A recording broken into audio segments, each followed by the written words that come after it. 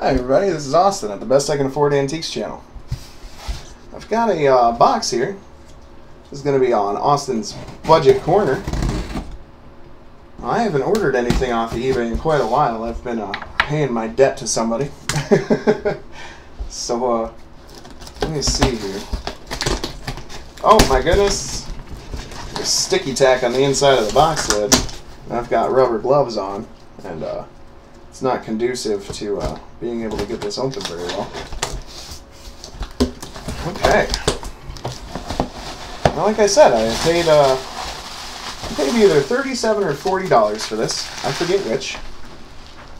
It was not expensive, and I think that it is art, and I think it is beautiful, and I think you guys are gonna like it. Now, this isn't the nicest piece I've ever seen, but you know what? I think I'd be lying to you if I said it wasn't beautiful. Oh, oh my goodness. Hold on, bubble bubble wrap was stuck to it a little bit. Seems like there's a little bit of sticky stuff on the back there. We'll have to clean it with alcohol later. Maybe not alcohol. Maybe something. I don't know. Let's get rid of the uh, got his own little plate holder just ready to go. And oh my goodness. Oh my goodness. Oh my goodness. Cloisonne is my absolute favorite thing. If you don't know what it is, you haven't watched my other videos, it's abundantly clear because I've got like 30 of them on it. But yes, besides my wife and cats, and Volvos. This is my one true love. Oh, goodness. I mean, this isn't even like. This is a piece that you could have. It could just be yours. Nobody's stopping you. Look at that beautiful white background.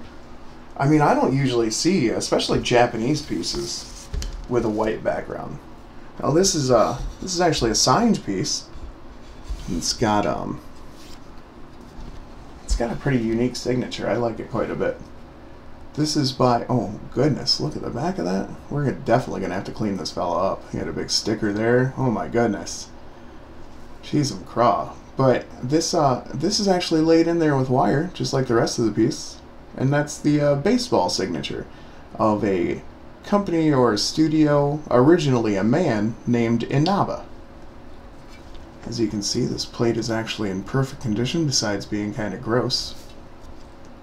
Wow, and actually that's a pretty magnificent little lip it's got right there. They're not usually like angled out like that. I mean, that's actually pretty well done. This is a very nice little dish.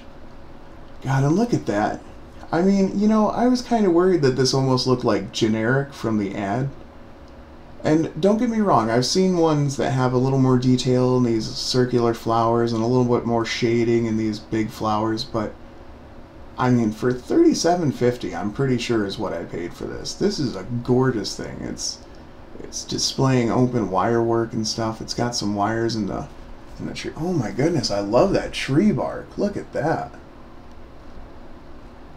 Well, that's gorgeous.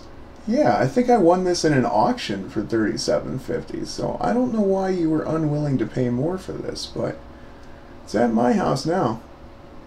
Live in regret. See, I told you. I've told you in several videos.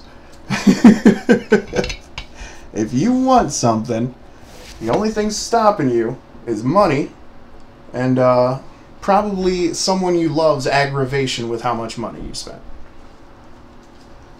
Now, fortunately, I've got a gorgeous wife that genuinely appreciates these things. And I, oh, I can't believe how well shaded that rock and that tree are. I'd really like to, I'd really like to continue focusing up on them just a little bit here.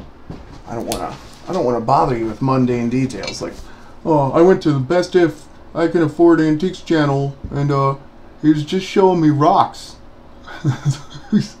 Look at this tree, guys. I don't care. Look at this rock. Look at these trees.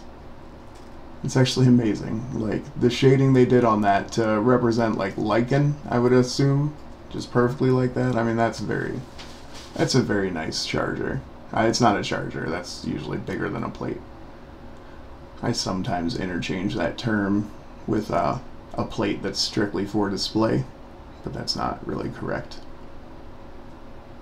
You see all the wires in them. I mean, somebody actually worked hard on this, and somebody did beautiful shading. I mean, that is genuinely gorgeous. I love that fence, that whirligig fence around the border. And yeah, a company called Inaba. And I would think that, I would think somebody would respect this more than $40 worth if the right people saw it. I think that's a beautiful thing. Probably just after the Meiji era. but I do think they, uh, I think Inaba worked for quite a while there. So, you know, this could be, uh, this could be 1950s. I'm, I'm not really positive. I do know that I've seen examples that looked a little more detailed, but that is shaded so beautifully. I mean, that is really a pretty splendid little thing. And for $40, to get a white plate with that beautiful shading, I mean, that's... I'm really not sure why no one else bought that. Because, yeah, I think, uh, I think it's really good.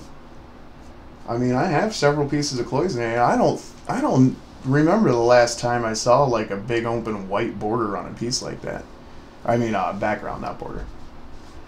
So yeah, as always, you know, let me know what you guys think. I mean, Austin's budget, best I can afford antiques corner.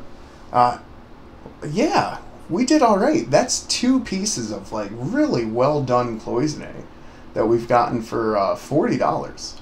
So, man, if you guys are looking for deals on something that's going to be more valuable in the future than it is now, Oh, buddy, go buy some cloisonne. Seriously. I mean, I hate to even do that because now you're going to be bidding against me, but for forty dollars, you don't want that. That's like, uh, you know, maybe maybe a hundred year old crushed glass and and minerals that they, you know, melted into those wires after they formed beautiful little flowers and trees and moss and and to get those different shades, especially like in the rock and the tree there, they would have had to add color and then throw it in the kiln and then pull it back out and sand it down and then add another color and then put it back in the kiln, sand it down, uh, repeat the process, you know, however many times it required to get those different shades in there. I mean, the, the leaves have different shading. If you look, um, sorry, sorry, hold on. I got a jumble here. So if you look at the leaves here, I mean, they've got beautiful light green at the tips and then, you know, fading to darker green throughout the whole thing. All these flowers have different shades throughout them. I, mean, this is actually a very well done piece. There isn't any uh, run over from the other colors, really. Like, look at this yellow right here. I mean, he's perfect. He doesn't, uh, he doesn't bleed into any of the other coloring or anything. I mean, this is really a very well done thing, and I'm very happy I got it. What do you guys think? I think we'll uh, I think we'll wrap up with that little close up there, but I wanted you to see this, and I didn't realize how beautiful it was. I'm I'm actually very impressed. Uh, I will try and get more Inaba pieces, I think, whether they're old or new. I, I genuinely respect this as a thing. So yeah, um, as always, like, share, subscribe, comment, tell me what you think.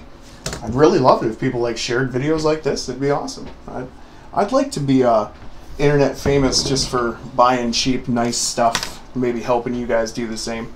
But you know, whatever, whatever happens, I'm going to keep buying it, and uh, we'll see what happens. this is Austin at the Best I Can Afford Antiques channel. I hope you guys like this stuff.